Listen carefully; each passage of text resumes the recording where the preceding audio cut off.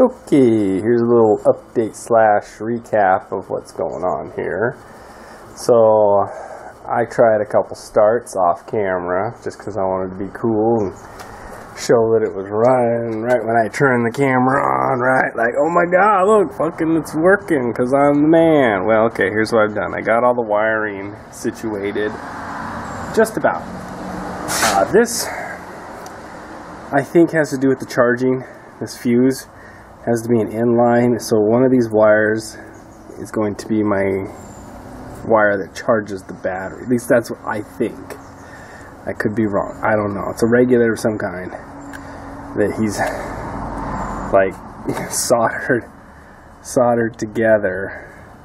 So you tell me what that is really. I mean I don't know right now. I don't care. Got the fuel filter on, of course. Carburetor's hooked up correctly. Vacuum lines, eh, I don't know if those are all on right. Now, I did have the electric choke hooked up, but I hooked it to a positive wire that worked off the key that actually, oh, fuck, I'm so tired right now that actually interfered with the spark. It shut the spark system down, so I had to disconnect it. Now that's whatever. But doing so, all this shit trying to get it to run with the starter, I overheated it and it seized up. I think I can bring it back to life. It's just in a bad spot to get out, so I'll do that later. So I've been using my drill on the side. I'd open this back up and the battery died on the drill right when I got going. So I'm going to set you guys up on the tripod. We'll try a couple squirts of ether. We'll run it. Should work. Know, it should fire off the fuel, but with it been sitting and the fuel doesn't smell so hot too, to be honest. I put new gas in it. It's just what we're getting right now out of the bottom. Uh, and it kind of looks murky, so it might have had some water in it. I should have actually, to be honest, run the gas out a little bit before putting it on, but fuck it. Ethers, that's what that's for, right? Okay, everything seems to be on. Just gonna put a little bit of this shit in there. Yep, just a little bit.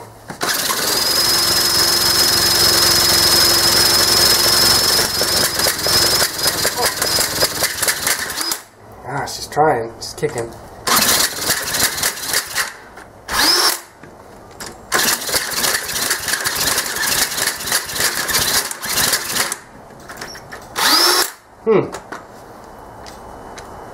Oh, she's getting too packed full of fuel.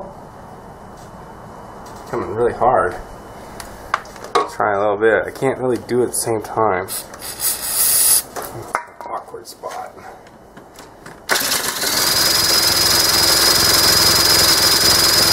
You run smooth without it. Oh yeah, she's trying. Come on, Betsy. Okay, let's turn her to run. God damn it. Come on, bitch.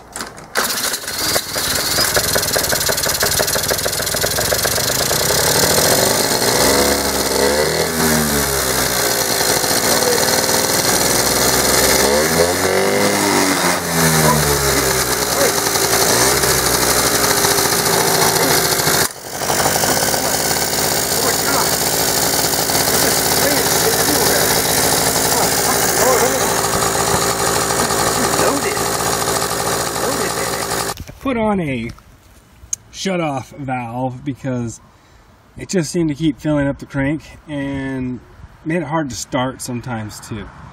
Other thing, I took the starter off to uh, look into refurbing it. I can't do it. And why? Now, when I say I can't do it, I mean I can't take this the back off. I could take the starter off, but they put Phillips, fucking Phillips, and I've rounded them out. I've tried every Phillips I had to try to get them, and I I can't I can't fucking do it. So I looked into how much does it cost to get a starter? Sixty dollars, sixty fucking dollars. Are you kidding me? I didn't even pay that much for this. So scratch that. It's going to be kickstart only. For now, I'm using the drill because I'm working out all the bugs. And after that, it, it did kick over really nice lately, but I, I just get so tired of doing it. Oh my God. My big fucking feet on them little fucking kickstarters. Well, here's what I wake up to fucking gas and the smell of it everywhere because this fucking thing popped off. I need a goddamn little fucking pussy clamper, you know, fucking tight fucking keto pussy clamp thing on there. Otherwise, I'll have to smell and look at gas for the rest of my fucking life. It sucks because I just filled that fucking tank up. God damn it. So I got the channel locks on it now to stop it. I need a petcock also. Petcock on that motherfucker. God damn it. So I gotta go run to Napa. I fucking did it. I fucking did it. I fucking did it. I fucking did it. I fucking did it. I fucking did it. I fucking did it. I fucking did it. I fucking did it. Alright, next step is cleaning up this mess that the fucker made when it didn't have to be made.